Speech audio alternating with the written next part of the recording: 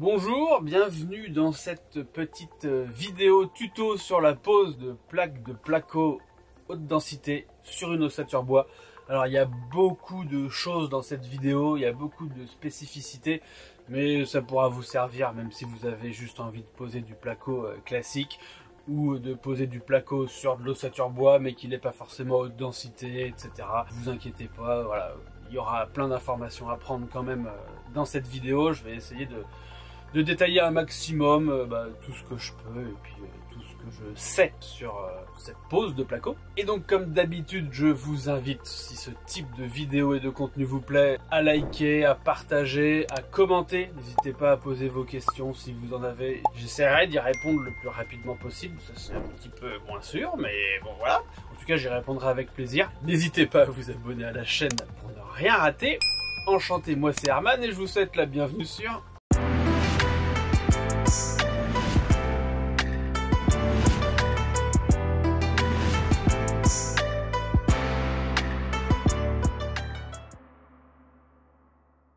commencer, je vais déjà vous faire quelques petites précisions. Le placo, ça peut se poser à l'horizontale ou à la verticale. C'est vous qui voyez selon vos envies, selon la spécificité euh, de vos lieux, de votre installation. Moi par exemple ici, dans cette vidéo, vous allez voir que en plafond, je vais installer euh, mon placo de manière horizontale parce que ça sera plus simple pour moi. Maintenant, dans d'autres combles, j'ai installé le placo verticalement parce que c'était simple pour moi.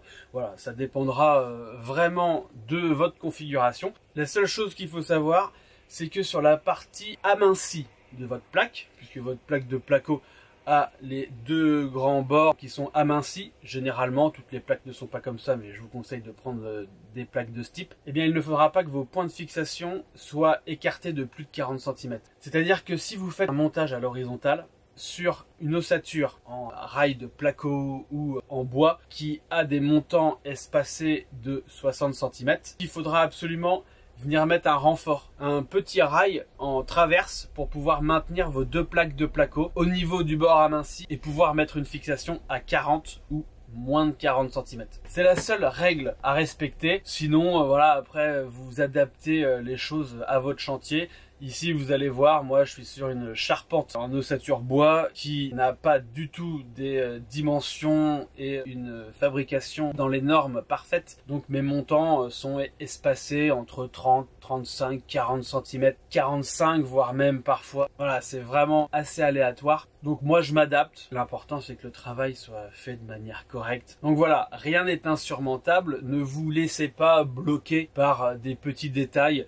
Quand je vous dis 40 cm max, si c'est 45, personne va vous en vouloir, ça ne sera pas dramatique, mais c'est quand même important d'avoir ces petites notions de base, donc je n'ai rien d'autre à ajouter, on y va, on se retrouve sur le chantier.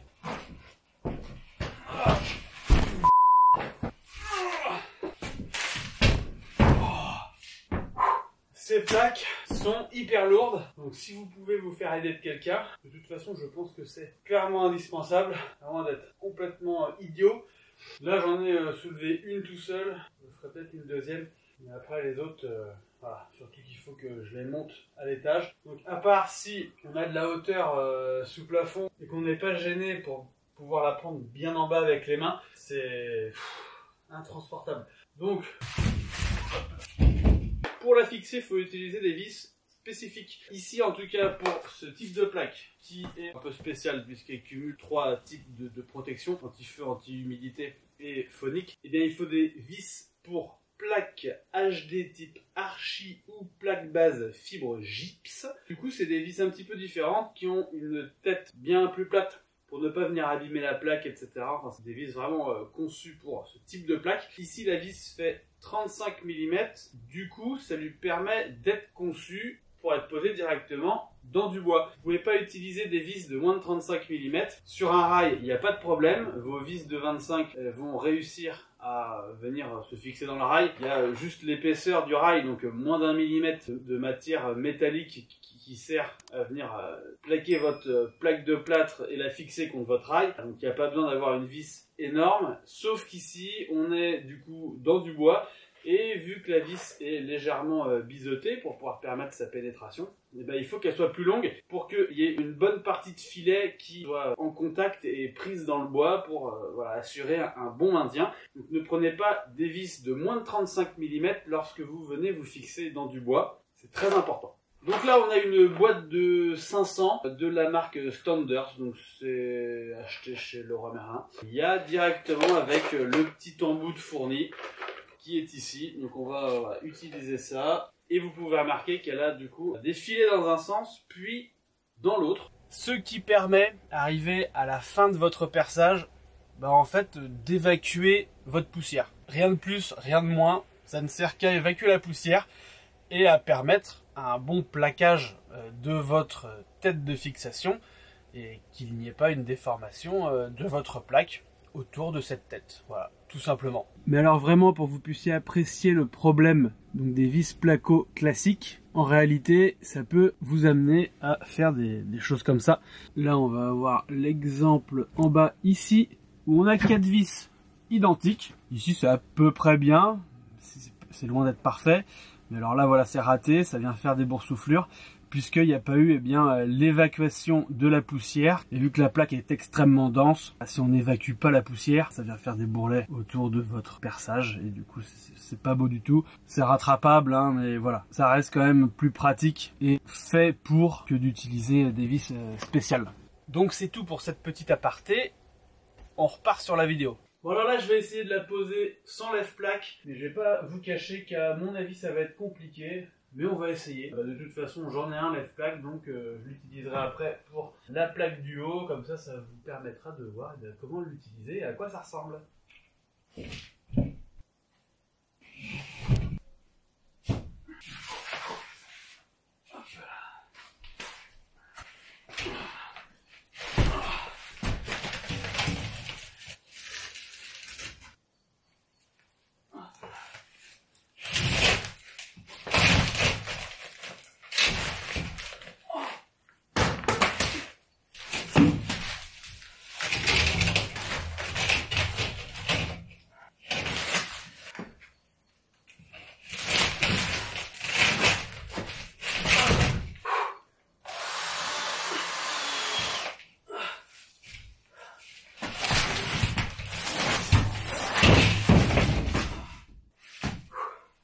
Bon, et eh ben c'est pas faisable sans lève-plaque, très clairement.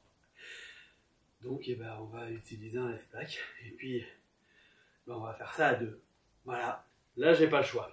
Mais si vous utilisez des plaques de BA13 qui sont pas phoniques, qui sont pas anti-feu, qui sont pas anti-humidité, elles sont logiquement beaucoup plus légères. Donc vous aurez beaucoup moins de difficultés à les utiliser, à les mettre en place.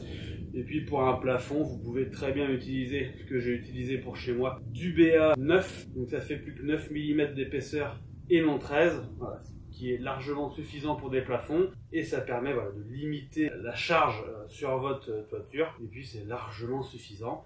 Et là vous aurez absolument aucune difficulté à la poser tout seul.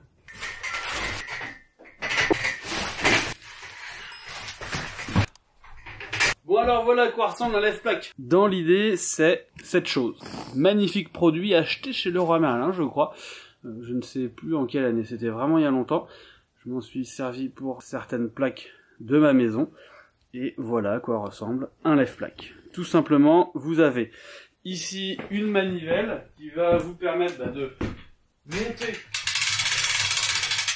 ou descendre votre plaque. Voilà de plus simple. Tac. Et puis là, bah, vous avez un support que vous pouvez régler euh, en largeur. Ici, vous avez juste à sortir les petites goupilles et vous pouvez écarter les bras suivant la, taille de votre plaque. Ensuite, là, vous avez un verrouillage pour si vous vous occupez de plafonds qui sont vraiment, euh, vraiment plats. Puis sinon, vous pouvez déverrouiller et puis bah, tout simplement venir orienter la plaque euh, comme bon vous semble.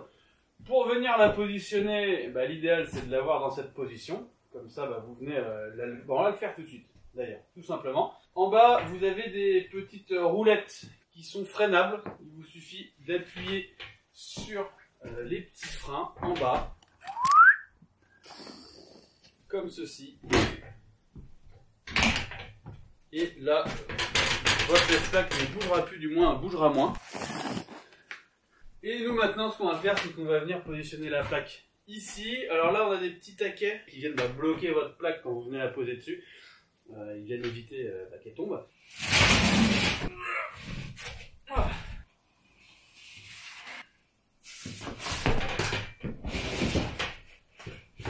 Ça va pas du tout. Hop là. Alors non, ça va pas. Il va falloir que je me recule. J'ai pas assez de hauteur sous le plafond. Là, sera bon.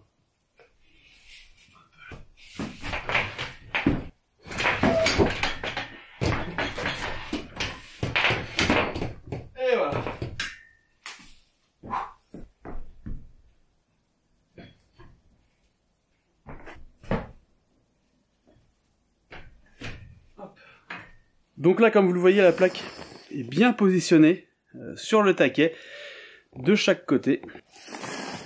Et maintenant, voilà, on va pouvoir ben, la redresser. Tout simplement comme ceci. Alors l'idéal aurait été de l'équilibrer un petit peu plus euh, sur le support. Mais là, c'est pas trop mal. Je vais venir déverrouiller les roues.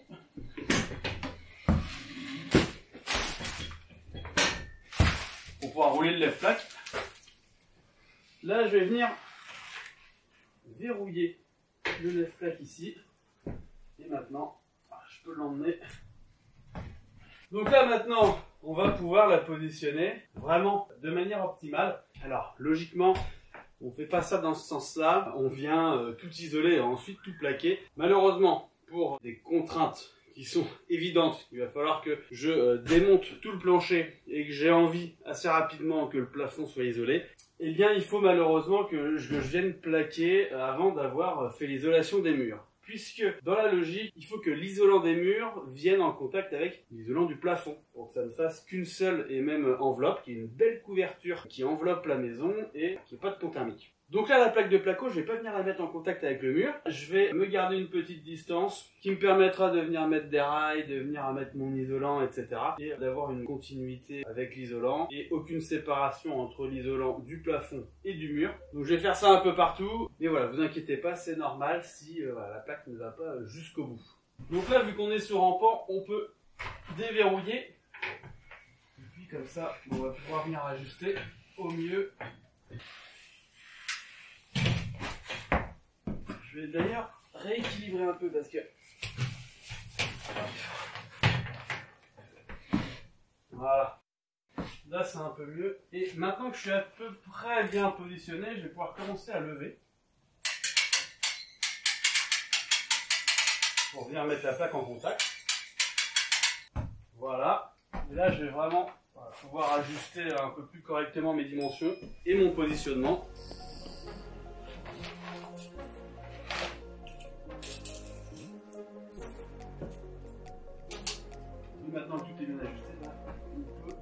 Bien bien la plaquer.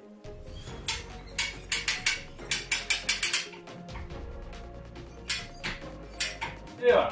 Et maintenant, on n'a plus qu'à visser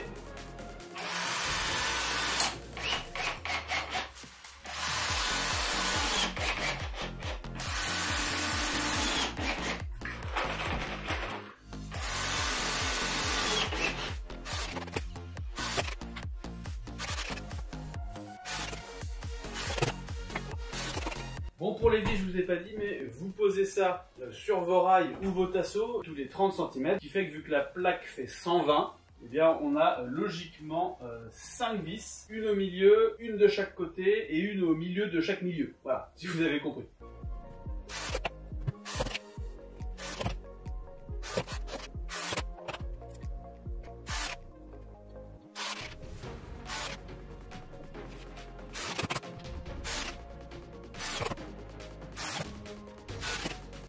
Donc là, j'ai pas mis euh, toutes les vis encore, mais je vais pouvoir maintenant que j'ai mis 50% euh, à peu près des vis, même un petit peu plus de 50%, je vais pouvoir venir euh, bah, libérer la plaque.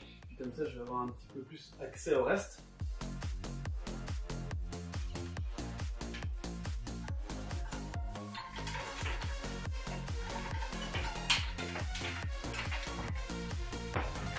Hop là Déjà, la plaque tient, ça, c'est une bonne chose. Et maintenant, on va venir de terminer, mettre les vis. Et euh, surtout, là, pensez bien à l'encadrement du Velux.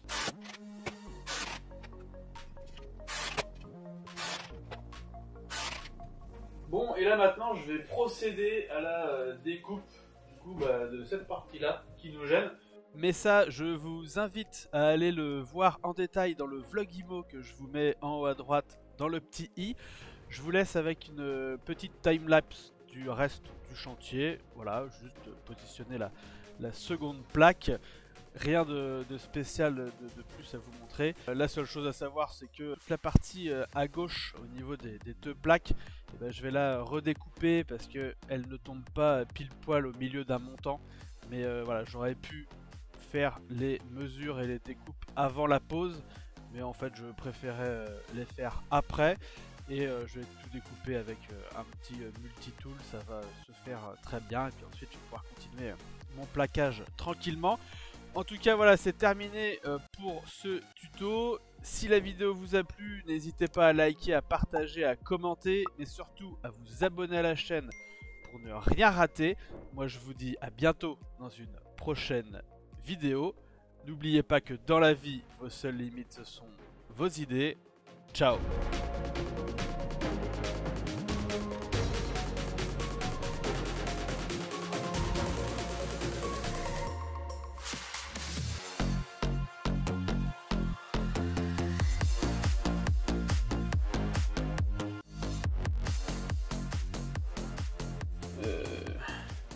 donc ça c'est bien.